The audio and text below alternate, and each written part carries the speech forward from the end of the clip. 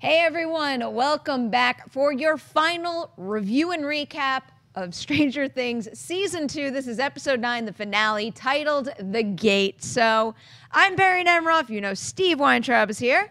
Uh, yeah, uh, I absolutely loved that episode with my heart and soul. Yep. Just loved. we also have Mark Reilly, of course. Yeah.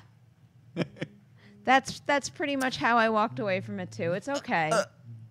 It's over. And we have to wait a while for the next season. And that was a great great great episode what a finale There's really no better way to close out a fantastic season than with an episode this strong. As much as it hurts that we have to wait so long for more Stranger Things, Oh. this this was one heck of a season. I suspect, just like season one, it's re-bingeable. So I'm very eager to rewatch the entire thing again. But really, let's start at the beginning of this episode right now because. Last episode, we had everybody come together, and now everybody split up and went their separate ways. I think every single section had something incredible to offer. Steve, did you have a favorite in terms of the groups going out to stop this whole thing? oh my, a favorite. Oh my God. Uh, no, I, I really. question. I'm like, Yeah. I really, I think that the the the exception, the Duffer Brothers did such an exceptional job with the writing and directing of the episode, and raising the bar from the first season, and and making everyone have a part to play. And I, I will say that, like, uh, um, uh, no, there's there's just no there's there's nothing that I would I would change. I'm like trying to like nitpick, and I'm like, no, no, that still works. Nope, that's fine. Like, uh, no, but I mean, like the, the episode's incredible. I really want to talk about the ending, but the whole build up to the ending is. Listen, it's just a home run of, of a finale. And what's great is the first episode and the last episode were both phenomenal. So it's like you start and end on such a high. Yeah, as that question dribbled out of my mouth, I was like, oh crap, I'm going to have to answer it now, and I don't have an answer. I liked every single section of this. And I think the reason that I wouldn't be able to pick a favorite is because they're intertwined so well. They are completely separate, they're in completely separate locations, but one thing triggers another. Same thing like when we had them fighting uh, Dart or what they thought was just Dart, and it was called back. It's everything is connected, and I think that's why, even though we have such a big ensemble here, every single episode has been so strong. But I will point out that I'm pretty sure you guys can guess what one of my favorite moments were in in the episode, and the it's new cat yeah, that too. That- was that not a really cute kitten? That was a really cute kitten. Yeah. Um, I liked the stuff with um with Will, Joyce, Nancy, and Jonathan in the Yep. shed because really part of the reason why a moment like that is so intense is because even though they suspect it will work and you hope it's going to work, you don't know if it's going to work. And when Jonathan and Joyce are sitting there wrestling with do we turn the heat on or do we turn it off? you don't know and you're flipping out and when you get a visual of you know the black like coming up on his neck and him choking joyce and then thank god nancy was there and made that go-to decision because who knows what would have happened but th- that scene to me was just something else. Well you posed the question. That was my favorite part actually. It really was and it's hard to when you it is hard to pick because i also love the demodogs um, scene with all with all the kids like trying to burn all the vines and then they appear and then there's dart. I love the callback getting dart. I knew that would happen. I kind of hoped it would happen. It was a nice just close on that storyline um, for for that particular scene. But you mentioned the shed and what that that was powerful. That was powerful for me. It was everybody working together at that moment. Yeah him grabbing onto joyce's neck it just oh it just it, I, I don't know. It really brought everything together. All the storylines tied together so well. This is such i said it before uh, this is some of the most amazing storytelling that it, that you want to see in in any series, whether it's on HBO or Netflix or or network TV. This is just some of the best stuff I've ever seen. I'm so pleased with the Duffer Brothers and Shawn Levy and everybody involved in Stranger Things. now we haven't talked about billy all that much so steve what do you think of, of billy and how his storyline kind of wrapped up this episode I, I think that listen, Billy is he has a part to play, but he is not a um, he's not uh, the strongest part of the show. Uh, I'm, I'm trying to be careful with the people walking by. Yeah. The, uh, he's not the strong. He's not. Listen, I mean, I think that uh, he's not the strongest character on the show, but the part that he has to play is important. You know what I mean? And he helps drive the story,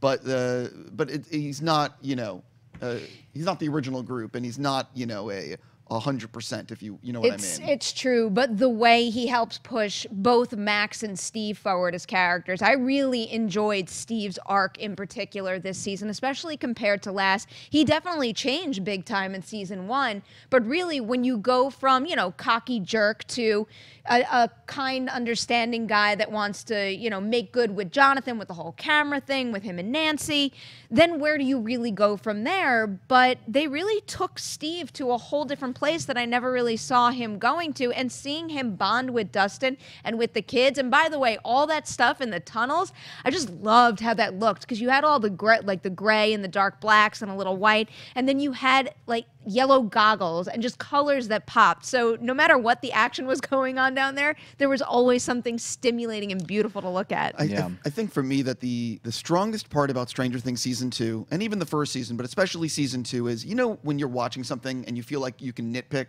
you feel like oh if they'd only done that, you know, and that's it, that's such a problem in in every movie and every TV show that you always want to nitpick. And right now, being completely honest, there's no nitpick of season two. Like yeah, see, episode seven is not all that, but that's not enough to say oh the show has a problem. Mm-hmm. You know what I mean? But there's no storyline that I'm like oh that's not good. You know what I mean? Yeah. Or only if they had done this. Yeah. You know? I mean, if I'm being completely honest, you know, when we see flashbacks to eight during that moment where 11 is closing the gate, it's a little unfortunate that that didn't mean as much as I wanted it to mean. I mean, I still get it. There was still a purpose to that episode, and we got we got the meaning of that in this. She needed that experience in order to close the gate. It's just if that had been a stronger episode, I think that ending would have been even more powerful than it already is. yeah. Well, you know, well, you know, we said we said it. Yes, uh, episode seven is not my favorite, but I think it was very important in order to happen. It's well directed. It's well acted. It's all good. I think. Really, I just hover on those those idiots that they're Yeah. hanging out with uh, eight and eleven, and it's just they just rub me the wrong way because I I felt like it was a little too easy. It's like, Well, oh and yeah, They, and they took away from eight. yes, they I'd took rather away from I'd eight. rather have spent more time with her. I, I maybe think that there was a different story to be happen, happening there with eight. I understand she went into crime and kind of revenge, and, and but to you to use those character or to, to use the misfits that were with her and and have a guy with the mohawk and like let's hang out by trash cans that are burning and stuff. I just didn't like that choice. However, again, when we were talking about episode seven, it was so important for Eleven's journey, and then it paid off for me. So.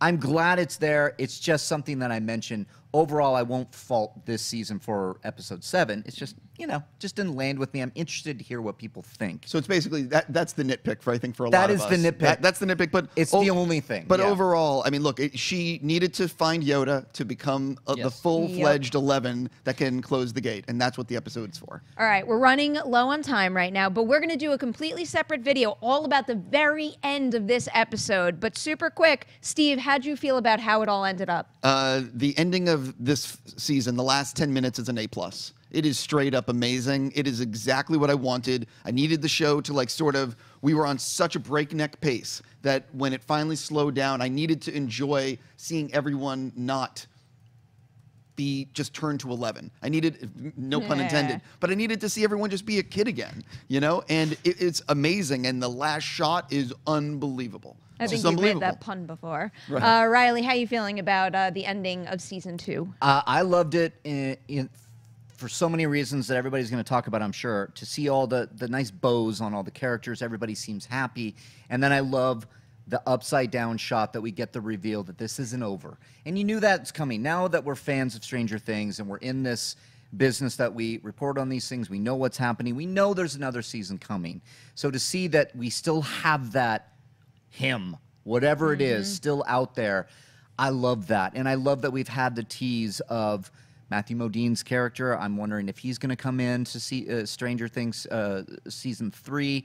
I mean, is he still around? I'm still I'm still trusting in what 8 said. So, uh, I don't know what's going to happen. eight can create anything. So sure. I, I just I think don't know about it- that. maybe, maybe you're right. Maybe he's dead, but I I'm wondering if it's a, a misdirect, and and that for me would make it uh, it would open up the world even more, just like season two did. They have something up their sleeves, and that's what I'm so excited about. So it's a wonderful tease. I mean, at the end of it, I was just like, man, I, it bummed me out. It bummed me mm-hmm. out that it's over. But going back to what you said about Steve, he had such a great character arc, and that's what I want to put on all these characters. It just seems so organic that all of them are working together. They're so well defined that this is a great, great episode, fantasy wise, but these characters are so real. So that ending just brought it all together Mm-hmm. for me. I can't wait. Yeah, I'll echo what you guys just said. I loved the ending. I love how this show dares to not end on just a cliffhanger, but gets to let us enjoy spending some happier times with these characters because really that's part of the reason why we know and we love them so well is because they're ju- they're just kids and sometimes you have to let them just be kids so that you can then take the suspense to the next level the next time around. I loved the snowball stuff and then I'm very excited to see what that last shot was teasing. You know what? If you want to know more of our theories about what that last shot and then some might be teasing, we're going to do another bonus video for season two very soon. So keep an eye out for that. Thank you for watching all of our episode to episode recaps. It's been a blast. We'll have an ending explained video coming your way real soon. Hey everybody, Mark Ellis here. Thanks for watching this episode. You want to watch more? Then click up here, or you can click right here for more great content from Collider. If you haven't subscribed to Collider Video, do so right now and share this vid with your friends. Thanks for watching.